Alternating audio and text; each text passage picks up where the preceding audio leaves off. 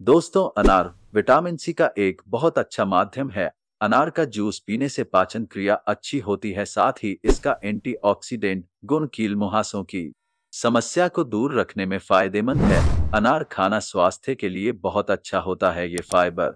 Vitamin C और के का एक बहुत अच्छा माध्यम है, इसमें मौजूद एंटीऑक्सीडेंट्स के भी ढेरों फ़ायदे हैं। अनार के छोटे छोटे दानों में रस भरा होता है, ये एक ऐसा फल है जिसके बीज और छिलके में भी कई गुण होते हैं। अनार का सेवन करने से दिल से जुड़ी बीमारियों में बचाव होता है। एक और जहाँ इसके स्वास्थ्य से जुड़े कई फ़ायदे है, वहीं खूबसूरती निखारने के लिए भी इसका इस्तेमाल किया जाता है। अनार में बढ़ती उम्र के लक्षणों को कम करने का विशेष गुण होता है। हर रोज अनार का जूस पीने से चेहरे पर निखार आता है। साथ ही ये कील मुहासों की समस्या में भी फ़ायदेमंद है। इसके अलावा अनार के और भी कई फ़ायदे हैं, जिसके बारे में बहुत कम लोगों को ही पता होगा। दोस्तों, वीडियो को अंत में हम जानेंगे अनार का उपयोग क्या क्या है।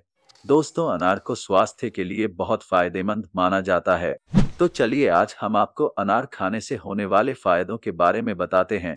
नंबर वन, सूरज की तेज रोशनी से बचाव, अनार। सूरज की नुकसानदायक यूवी किरणों से त्वचा को सुरक्षित रखने का काम करता है। अनार के छिलकों में सन ब्लॉकिंग एजेंट्स होते हैं, जो कि नेचुरल तरीके से त्वचा को सुरक्षित रखता है। नंबर टू, कील मुहासों की समस्या में। अनार विटामिन सी का एक बहुत अच्छा माध्यम है। अनार का जूस पीने से पाचन क्रिया अच्छी होती है, साथ ही इसका एंटीऑक्सीडेंट गुण कील मुहासों की समस्या को दूर रखने में फ़ायदेमंद है। नंबर थ्री एंटी एजिंग गुण। अनार में उच्च मात्रा में विटामिन ए, ई और सी होता है। ये विटामिन बढ़ती उम्र के लक्षणों को जल्दी आने से रोकते हैं। ये त्वचा की महीन रेखाओं और झुर्रियों को जल्दी आने से रोकता है। नंबर फोर, नई कोशिकाओं के निर्माण में अनार।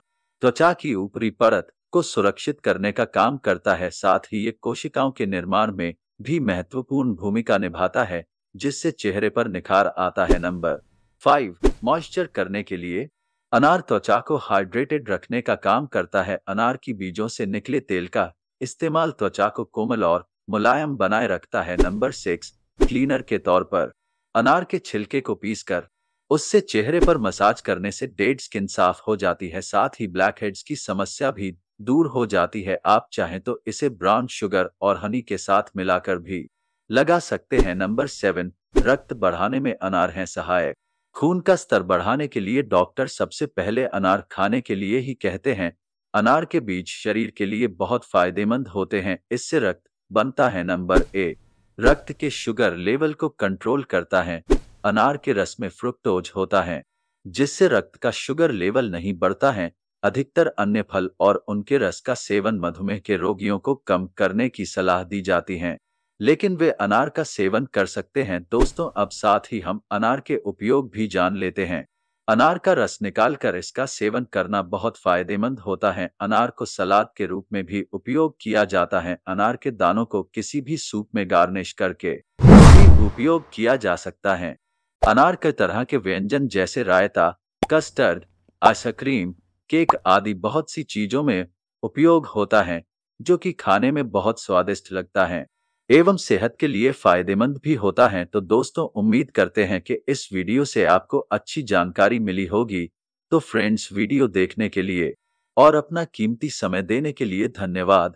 और वीडियो पसंद आए तो वीडियो को लाइक करें और साथ ही चैनल को सब्सक्राइब करें और वीडियो को अन्य लोगों के साथ भी ज़रूर शेयर करें। मिलते हैं नेक्स्ट वीडियो में। Thank you.